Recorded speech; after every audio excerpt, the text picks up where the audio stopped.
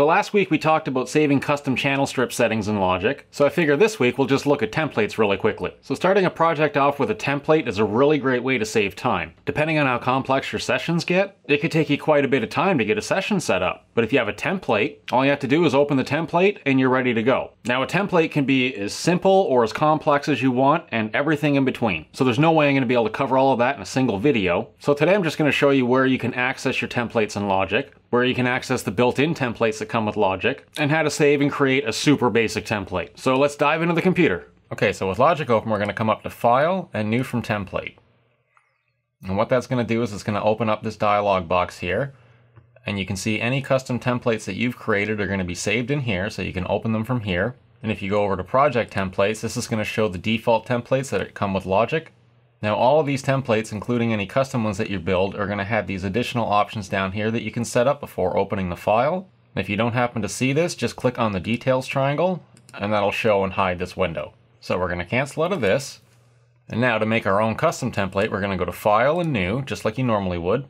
And let's just build a simple 12 track template. So we're going to create 12 tracks.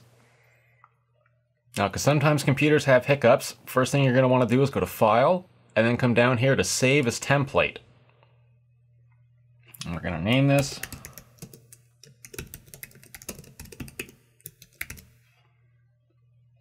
And this is going to save this into the project templates. So if we click Save here, you can see up here, now we've got a template created. So if we close out of this, and we go back to New from Template, you can see the template that we made is right here. So we can click and we can open that. And there it is.